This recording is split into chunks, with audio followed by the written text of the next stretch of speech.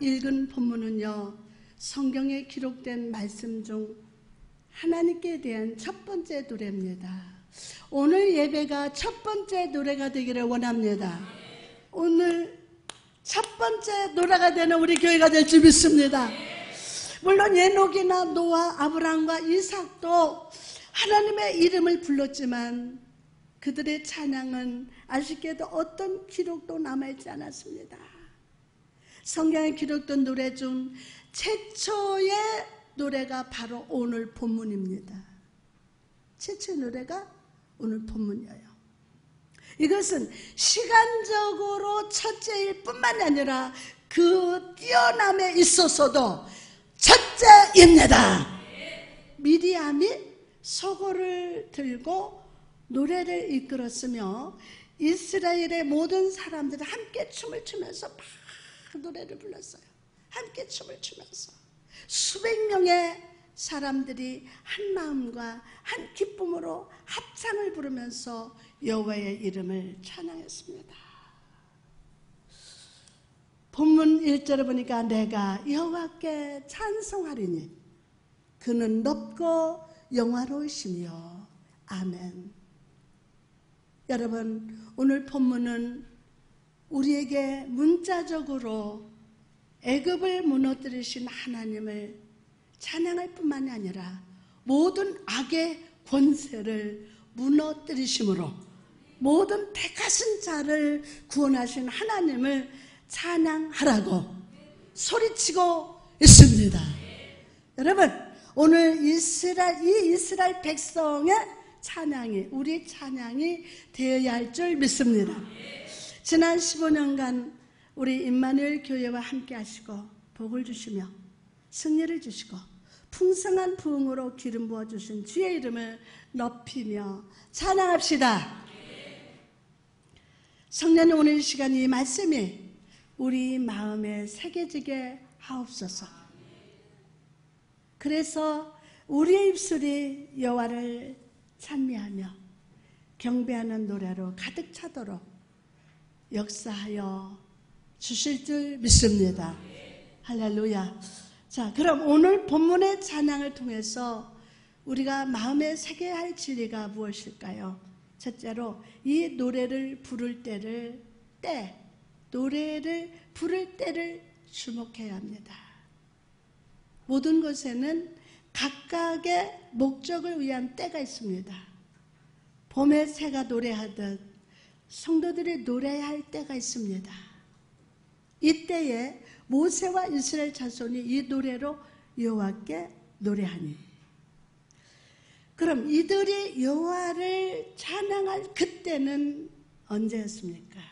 첫째로 구원이 실현된 순간이었어요. 구원이 어떨 때? 실현된 순간이었어요.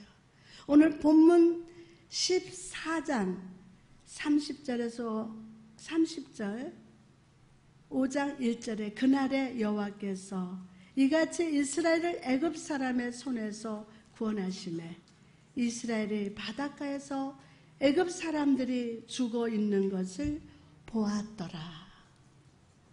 이스라엘이 여호와께서 애굽 사람들에게 행하신 큰 능력을 보았으므로 백성이 여호와를 경외하며 여호와와 그의 종 모세를 믿었더라.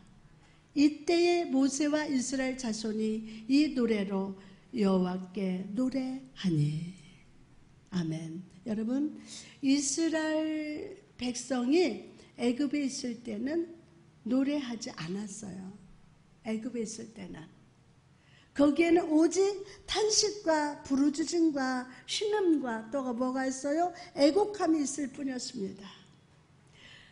그들의 입술의 노래는 불협 화음이 가득한 소음뿐이었어요. 심지어 허리에 띠를 띠고 손에 지팡이를 잡고 급히 어린 양의 고기를 먹던 6월쯤 밤에도 그들은 노래하지 않았습니다.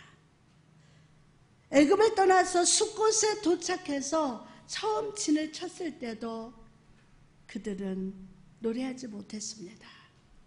왜냐하면 애굽 사람들이 곧 뒤따라올 것이라는 두려움으로 마음이 조급했기 때문입니다. 마음이 막 조급해요. 그러나 하나님의 이스라엘 백성을 위해서 싸워주시고 함께 하시며 승리하셨을 때 그들은 이제 더 이상 두려워하지 않았어요. 우리 교회를 위해서 하나님이 싸워주시고 함께 하시며 승리했음을 믿으시면 아멘. 이제 그 두려움에 물러갔다. 홍해를 마른 땅처럼 건너고 애굽 사람과 이스라엘 사이에 큰 바다가 가로막혀 되었을 때 비로소 백성들은 기쁘게 노래를 했어요. 이때에 모세와 이스라엘 자손이 이 노래로 여호와께 노래하니 아멘. 여러분 이 모습이 우리에게 보여주는 진리가 무엇입니까? 바로 우리가 멍해의 땅에서와 죄와 사단의 지배 아래 있을 때는 노래하며 찬양할 수 없다는 사실이에요. 죄와 죄와 지배 아래 있을 때 사단의 지배 아래 있을 때는 노래할 수 없어요. 찬양할 수 없습니다. 우리가 어찌 이 이방 땅에서 여호와의 노래를 부를 수 있겠습니까? 아무리 찬양하고 싶어도 우리 삶의 죄와 사단의 권세에서 벗어나지 않는 한 할 수 없어요. 그러나 예수 그리스도가 우리를 구원하시고 그를 믿는 자에게 주시는 찬양의 권세를 깨달았을 때 우리는 기쁘게 찬양할 수 있음을 믿으시기 바랍니다. 자녀의 권세를 깨달을 때 내가 하나님의 자녀라. 그걸 깨달을 때 하나님은 찬양할 수밖에 없어요. 요한복음 1장 12절 말씀 보니까 영접하는 자, 그, 그 이름을 믿는 자들에게는 하나님의 자녀가 되는 권세를 주셨으니 아멘하고 오늘 확신할지어다. 여러분 지난 15년간 우리를 임마누엘 교회 모이게 하시고 오늘까지 구원하시며 자녀의 권세를 누리게 하신 주님을 찬양합시다. 하나님의 우리를 위해서 행하신 위대한 일을 분명히 바라봅시다. 아, 이건 위대한 일이에요. 우리 교회가 이렇게 반듯하게 살아있어요. 여러분이 지금 다 살아있어요. 아멘. 우리에게 주신 구원을 굳게 붙들고 영광스럽게 승리하신 주님께 찬양하는 성도 여러분 되시기를 주님의 이름으로 축복합니다. 할렐루야. 두 번째로 이스라엘 백성이 노래할 때는 거룩한 구별의 때였어요. 거룩한 구별의 때. 고린도전서 10장 2절에 보니까 모세에게 속하여 다 구름과 바다에서 세례를 받고 라고 말씀한 것처럼 홍해에서 바로와 그의 군대가 멸망당할 때 이스라엘은 애굽으로부터 분리된 한 나라가 되었어요. 애굽으로부터 분리된 한 나라가 됐어요. 이스라엘은 이제 더 이상 애굽의 멍에 아래 떨어지지 않을 것입니다. 애굽으로 돌아가지도 않을 것이며 바로는 더 이상 이스라엘을 뒤쫓지 않을 것입니다. 이제 백성들은 여호와께 거룩고 구별된 백성이 되었고 하나님은 그들과 함께 하시며 영원히 거하시는 겁니다. 임마누엘 교회 거룩으로 구별된 여러분이요. 더 이상 이제 애굽으로 갈 사람이 없습니다. 두려할 사람이 없습니다. 구별된 백성이 노래할 때 구별이 돼요.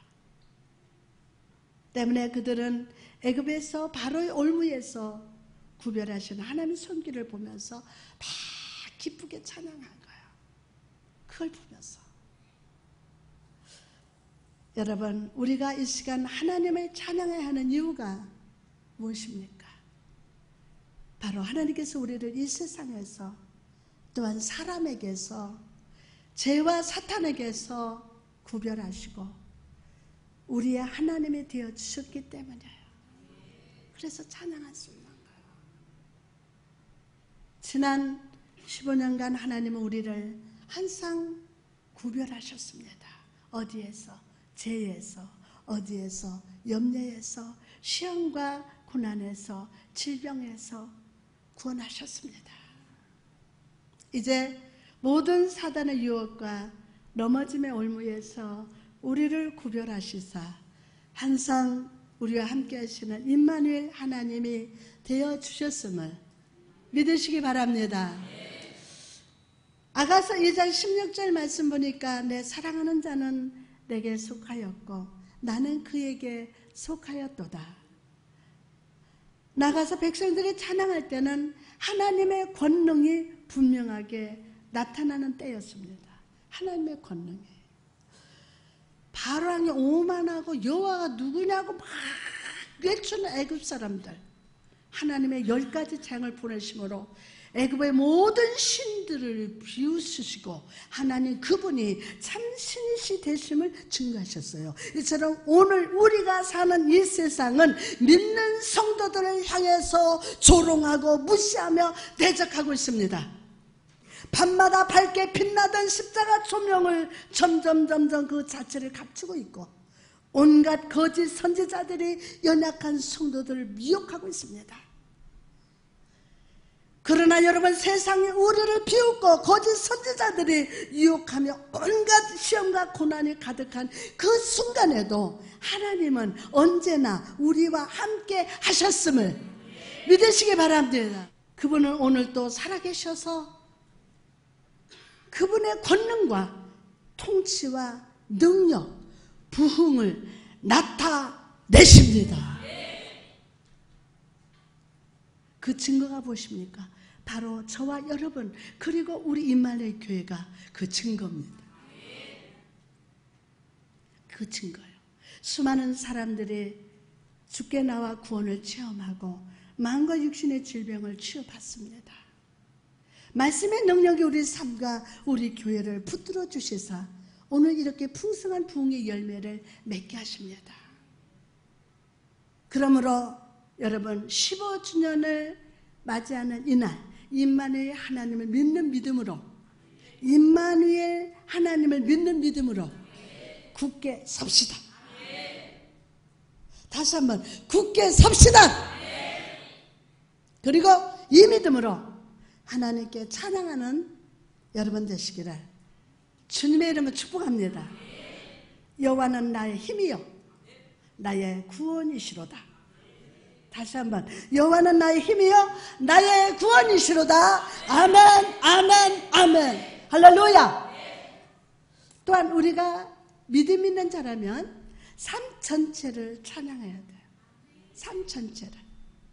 모든 일이 잘 될 때 하나님을 찬양하는 것은 누구나 할 수 있어요.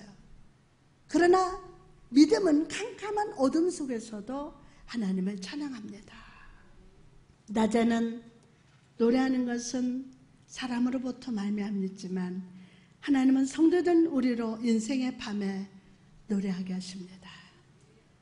사랑하는 성도 여러분, 기쁠 때나 슬플 때나 낙심될 때에도 하나님을 찬양합시다. 하나님을 찬양합시다. 의지할 만한 것이 전혀 없을 때에도 나를 향하신 하나님의 약속을 굳게 붙드시기 바랍니다. 아멘. 시편 46편 2절에서 3절에 그러므로 땅이 변하든지 산이 흔들려 바다 가운데 빠지든지 바닷물이 솟아나고 뛰놀든지 그것이 넘침으로 산이 흔들릴지라도 우리는 두려워하지 아니하리로다.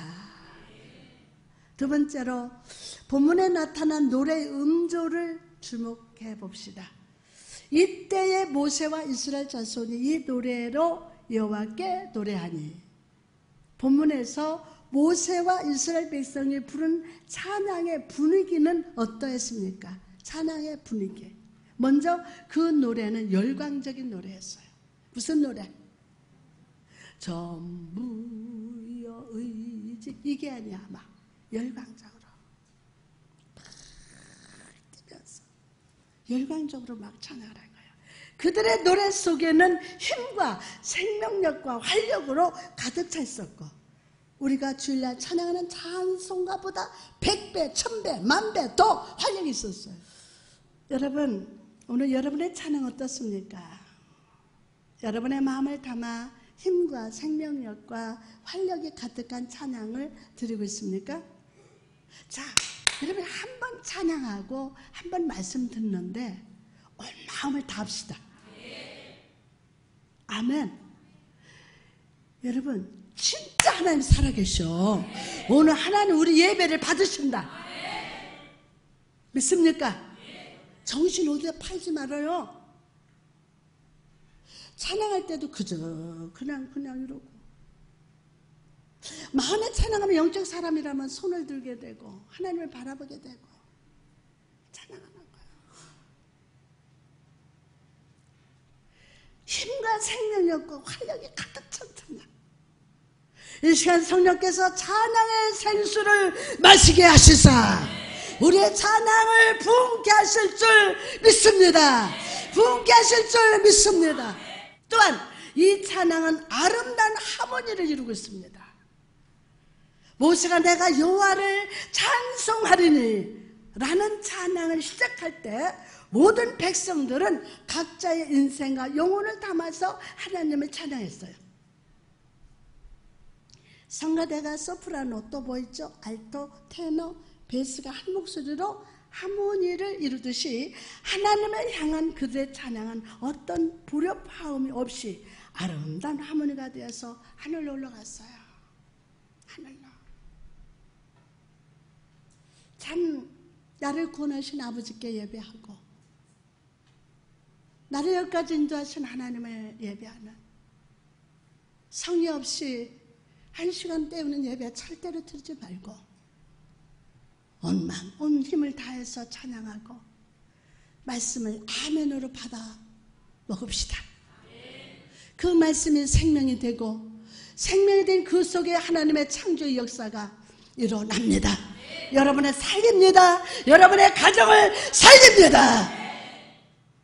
여러분 한 사람이 하나님 말씀으로 살아날 때 이 지역이 살아나고 지금 한국 교회 비판하지 말고 기도합시다.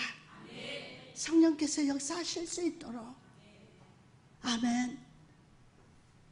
하모니를 이루는 하나님을 향한 그들의 찬양은 어떤 불협화음 없이 아름다운 하모니를 이뤘어요. 여러분, 이처럼 하나님의 교회는 완벽한 하모니로 그분께 찬양해야 합니다. 불평, 원망, 염려, 짜증내던 불협화음은 다 오늘 버리고 오늘 여러분의 삶을 담아 감사를 담아 경배를 담아 아름다운 하모니로 주께 찬양할지어다. 시편 95편 1절 말씀은 이거 오라 우리가 여호와께 노래하며 우리의 구원의 반석을 향하여 즐거이 외칠지어다. 뿐만 아니라 과거, 현재, 미래를 포함하는 노래였습니다.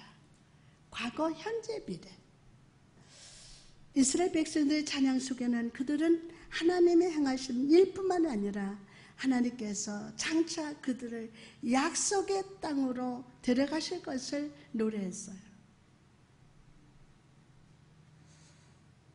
오늘 과거가 위로받고 현재 위로받고 오늘 미래의 비전의 창문이 열려서 아멘 개인에게 우리 교회에게 아멘 하나님의 약속의 땅을 바라보고 여러분 자신도 우리 교회가 앞으로 1만 성도의 축복을 주실 것을 믿읍시다. 아멘. 그래요. 이스라엘 백성들의 찬양 속에서 그들은 하나님의 행하신 일뿐만이 아니라 하나님께서 장차 그들을 약속의 땅으로 데려가실 것을 믿고 찬양했다는 거예요. 그리고 마침내 그들은 이런 고백을 드립니다. 여호와께서 영원 무궁하도록 다스리시도다. 이런 날은 처음이에요. 근데 자유로워요. 어디 묶이지 않고 오늘 설교만큼은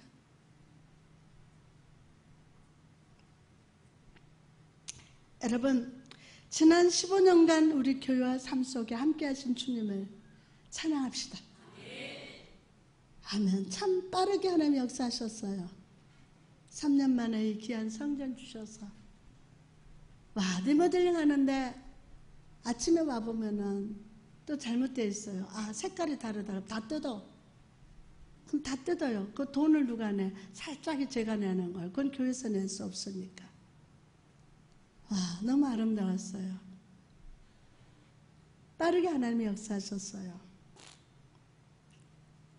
그러나 우리는 현재와 우리의 미래에 대해서 하나님을 꼭 찬양해야 돼요. 현재와 미래를 향해서 찬양해야 돼요. 장차 나타날 영광, 장차 우리 교회에 나타날 1만 성도의 부흥, 장차 우리 삶과 가정, 직장과 사업에 나타날 축복을 노래합시다. 현재뿐만이 아니라 여러분의 입술에서 미래의 노래, 하나님의 장차 행하실 음악을 노래하시기를 축복합니다. 반드시 내가 너를 축복하리라. 마지막으로 이 찬양의 내용을 주목해야 합니다. 본문 2절에 보니까 여호와는 나의 힘이요 노래시며 나의 구원이시로다. 그는 나의 하나님이시니 내가 그를 찬송할 것이요. 그는 누구 하나님이니? 그는 나의 하나님이시니 내가 그를 찬송할 것이요. 내 아버지의 하나님이시니 내가 그를 높이리로다. 여러분, 이 노래 단어를 보시기 바랍니다. 이 노래 속에 하나님으로 가득 차 있어요. 이 노래 속에 누구로 가득 차 있어요? 하나님으로 가득 차 있어요. 이 노래 속에 모세는 없습니다. 아론도 없고 미리암도 없습니다. 그 어떤 사람의 이름도 없습니다. 오직 처음부터 마지막까지 하나님으로 가득 차 있을 뿐입니다. 여러분 진정 아름다운 찬양이란 무엇입니까? 그것은 내 자아가 세상이라는 애굽과 홍해 바다 속에 수장되고 내 안에 있는 모든 것이 하나님의 은혜임을 알고 주님께 영광을 돌리는 것임을 믿으시기 바랍니다. 이것이 진정한 찬양이에요. 여러분, 삶으로 하나님을 찬양합시다. 삶으로 하나님을 찬양합시다.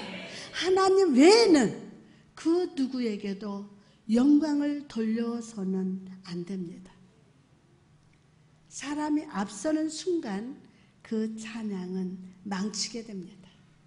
망치게 돼요. 사람을 잊으십시오. 땅을 잊고 시간을 잊으십시오. 자아를 잊고 오직 여호와 하나님을 생각합시다. 여러분 기가 오늘 할례 받을지어다. 이제 어제만 해도 과거입니다. 다 잊고 여러분의 입술의 모든 말과 마음의 묵상을 단단히 매는 줄로 재단 뿔과 연결시킵시다. 재단 뿔과. 아멘. 자, 그럼 이스라엘 백성은 하나님을 어떻게 찬양하고 있습니까? 먼저 그들은 여호와는 나의 힘이요. 시작. 여호와는 나의 힘이요. 라고 찬양했어요. 여호와는 나의 힘이다. 여러분 이 얼마나 당당한 표현입니까? 애굽에서 이스라엘 백성은 아무 힘도 없습니다. 애굽에서 이스라엘 백성은 아무 힘도 없었어요. 그들은 집, 집도 없이 벽돌을 구우면서 쓰라린 고통으로 신음하면서 하나님께 부르짖었어요. 그들은 약한 그 자체였습니다. 그러나 여호와께서 그들을 권능으로 이끌어내시고 연약한 그들의 힘이 되어 주셨습니다. 여러분 우리가 연약할 때 여호와는 우리의 힘이 되십니다. 나가서 여호와는 다른 힘에 대항할 이스라엘의 힘이었습니다. 바로는 매우 강한 힘을 가지고 있었습니다.